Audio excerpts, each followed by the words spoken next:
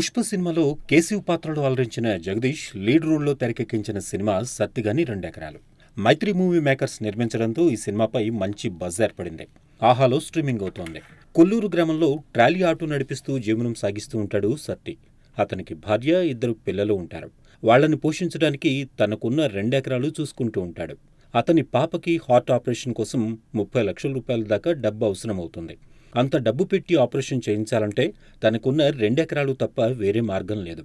తన దగ్గర ఉన్న రెండెకరాలు మాత్రం ఎట్టి పరిస్థితుల్లోనూ అమ్మకూడదని తన తాత మాట తీసుకుంటాడు. తన అవసరాన్ని ఆదుకుంటానన్నట్లుగా ఉన్న సర్పంచ్ మామ సత్తి పొలాన్ని అమ్మి లాభపడాలని చూస్తాడు. ఆ టైంలోనే సత్తి చూస్తూ ఉండగా ఓ కారు యాక్సిడెంట్ అవుతుంది. ఆ కారులో ఒక సూట్ కేసు కనపడుతుంది. ఆ సూట్ కేసు తీసుకుని సత్తి పరారవుతాడు. ఆ సూట్ కేసులో ఏముంది అని తెలుసుకోవాలని తన స్నేహితుడు అంజు సహాయాన్ని తీసుకుంటాడు. ఈలోగా సూట్ కేసు కోసం వెన్నెల కిషోర్ వస్తాడు. ఊర్లో కార్ యాక్సిడెంట్ విషయం తెలిసి ఎస్ఐ ఇన్వెస్టిగేషన్ స్టార్ట్ చేస్తాడు. ఆ సూట్ కేసులో ఏముంది? సత్తి కష్టాల నుంచి ఎలా బయటపడ్డాడు? సత్తి ఆ రెండెకరాల్ని అమ్మాడా లేదా అన్నదే కథ. ఆపదలో ఉన్న హీరో బయటపడేలా దురాలోచన అనుకోవడం కొన్ని రిస్కులు పట్టడం ఇలాంటి కథతో చాలా సినిమాలు వచ్చాయి. అయితే సత్తిగాని రెండెకరాలు కూతురు ఆపరేషన్ అంటూ కథ మొదలై ఏకంగా డైమండ్ రాళ్ళ దగ్గరకు వస్తుంది. ఫస్ట్ హాఫ్లో సూట్ కేసులో ఏముంది అని సాగితే సెకండ్ హాఫ్ అందులో ఉన్నదాన్ని మార్కెట్ ఎలా చేయాలి అనే దాని మీద సాగుతుంది. స్లో నేరేషన్తో ఈ సినిమా బాగా నెగటివ్ టాక్ తెచ్చుకుంది.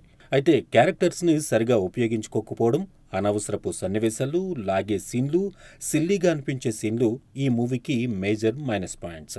లీడ్ పేరు మధ్య సీన్స్ మనిషికి కష్టం వస్తే అతని అవసరాన్ని ఎదుటివారు అవకాశంగా తీసుకుంటారనే సన్నివేశాలు అంజి సర్పంచ్ కూతురుతో వచ్చే సీన్స్.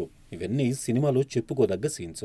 దర్శకుడు తన రైటింగ్ స్కిల్స్ని సినిమా ఓపెనింగ్లో డైలాగ్స్తో చూపించగా సినిమా మొత్తం అదే రీతిలో ఉంటే బాగుండేది అనిపించింది. మొత్తంగా మైత్రి మూవీ మేకర్స్ నుంచి విడుదలైన సత్తిగాని రెండెకరాలు ఆశించిన స్థాయిలో ప్రేక్షకులను ఆకట్టుకోలేకపోయింది. మళ్ళీ ఫెయిల్యూర్ని తన ఖాతాలో వేసుకుంది.